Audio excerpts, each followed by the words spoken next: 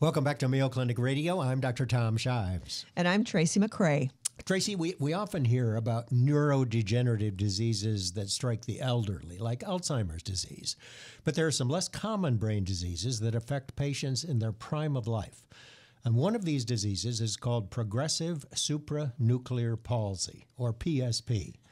PSP affects the brain cells that control balance, walking, coordination, eye movement, speech, swallowing, thinking, almost everything. It sounds terrible. Well, it is. There is no cure for PSP, so treatment focuses on managing the symptoms. And here to discuss PSP is the Division Chair of Behavioral Neurology at Mayo Clinic, Dr. Bradley Boeve. Welcome to the program, Dr. Boeve. It's nice to meet you. Thank you. Likewise. Dr. Boeve, welcome to the program. Thank PSP. you. So it's uh, we mentioned that it is a prime of life disease, meaning what, what's the most common age at which it strikes? Mainly 40s, 50s, or 60s. So wow. indeed, prime of life. And it's a, it can be a de- devastating disease. It is. Uh, the uh, usual course of the illness is two to five years on average. Some shorter, uh, some uh, much longer, but it's relatively short course. Average survival less than 10 years yes. once, once you yes. get this disease? Yes. And how common is it? It's about as common as Lou Gehrig's disease. Uh, most people have not heard of PSP before, but the prevalence is about the same as ALS. And there are just a few thousand people who have this disease in the U.S., right? Correct what four or five thousand? Is that a pretty good roughly? Uh, some would say in the ten, the uh, lower tens of thousands, but uh, relatively uncommon.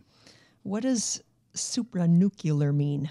It's an old term that uh, is based on the clinical features, and the eye movements are a characteristic aspect of the illness. Uh, so, the inability to look down, um, also to look up, but especially look down, and it's because of the supranuclear involvement on the nuclei that uh, control eye movements, and that's where the term came from. Aren't you glad you asked? Yeah. I guess. well, you mentioned Lou Gehrig's disease. Um, how is this different? How are the two different? Uh, Lou Gehrig's disease it does affect the brain, but it's more of an issue of the uh, the spinal cord and the nerves that go out to the muscles. Um, so uh, it's got central nervous system and peripheral nervous system uh, in, involvement. In progressive supranuclear palsy, it's a primary brain disorder, and there's more Parkinson's-like features, uh, and cognition and behavior are affected far more than in ALS. Isn't it sometimes difficult to tell the difference between this disease and Parkinson's? Uh, it is. Uh, and early on, it can be a real challenge. Uh, but the uh, the early tendency to fall and fall repeatedly is different from typical Parkinson's disease. The eye movements are quite different, um, and the specific features of the Parkinsonism are different than in typical Parkinson's disease, also. So uh, there are uh, ways to differentiate, but it can be challenging early in the course. And the average age of onset for Parkinson's disease significantly older? Uh, uh at least a bit older, probably uh, uh, upwards of a decade older. What causes it? Is it a is there family history that's involved? Uh, for the most part, there isn't much of a family history. It can run in families, but that's extremely rare, uh, and is due to a, uh, an accumulation of this protein tau. T A U tau. Uh, Parkinson's disease is alpha synuclein, so it's a different protein. And the parts of the brain that the tau protein misfolds and then accumulates in the neurons, they're different than in Parkinson's disease, also. And that's why the clinical features are different. But no idea why this tau protein collects? Uh, no, uh, it's um, in some respects similar to Alzheimer's disease. Tau is a critical protein in Alzheimer's disease. And so, what causes that uh, protein to misfold? And why does it then uh, uh, spread into different brain regions? Uh, those aspects are still not well known. Aren't there some environmental factors uh, that possibly contribute to to this disease? I'm thinking of people who lived on a farm or drank well water or worked in the ag industry. Um, th- that data is more consistent with Parkinson's disease. In PSP, it's less clear. And hypertension has been um, uh, proposed as a risk factor for PSP, but high that's blood the, pressure. Uh, high blood pressure. Um, but um, that's very common, and so you know, very few people get PSP. I um, anyone who listens to this show for more than five minutes knows that I'm not a medical professional, but I have heard of people over the years um, being diagnosed with early onset Parkinson's disease. Do they actually have PSP? Some may. Um, some people with Parkinson's disease will uh, develop symptoms in their 20s or 30s, so very, very young. In PSP, that, that's very rare to be that young. It can happen, but that's distinctly. It's more fi- 40s, 50s, 60s, and uh, in some cases 70s. So how do, how is it diagnosed? Is it just the symptoms?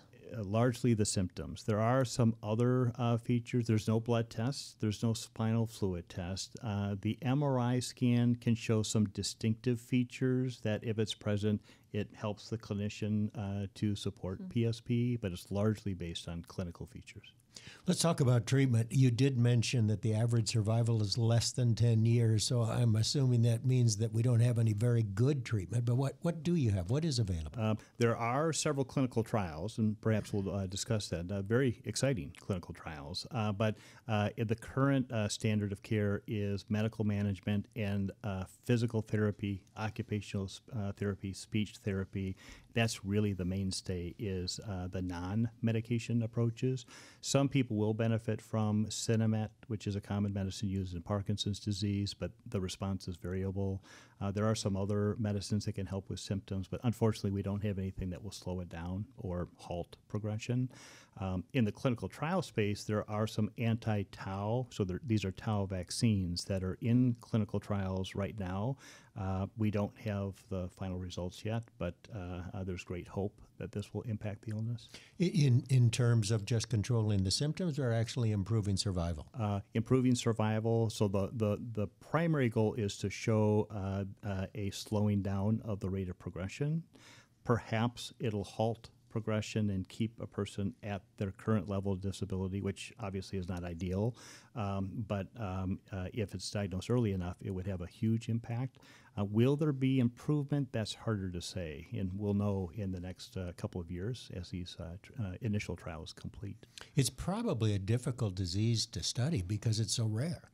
It is uh, at a place like Mayo Clinic. We do see a number of uh, patients that have hard to diagnose uh, uh, types of uh, neurologic problems, and uh, with the experienced eye, it's usually not that difficult to establish a diagnosis. But again, early on, or those with atypical features, it, it can be a challenge for anyone. Of the clinical trials that are going on now, which to you looks most promising? The the tau vaccines look uh, the most pro- uh, promising. They're directly targeted against the abnormal protein. Um, so the design is to uh, basically neutralize the abnormal tau protein collections, especially as it goes from nerve cell to nerve cell.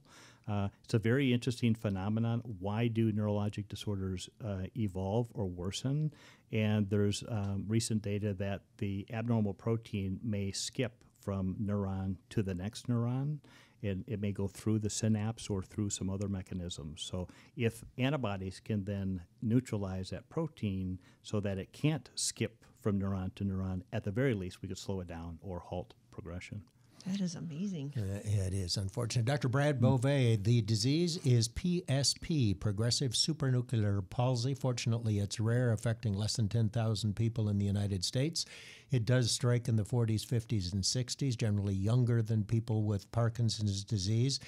Truly a devastating condition, but there is hope for better treatments in the future. There is. Uh, We've been talking with Brad Boeve, Dr. Brad Boeve. He's one of the world's experts on progressive supranuclear palsy, and he is division chair of behavioral neurology at Mayo Clinic. Thanks, Dr. Boeve. thank you.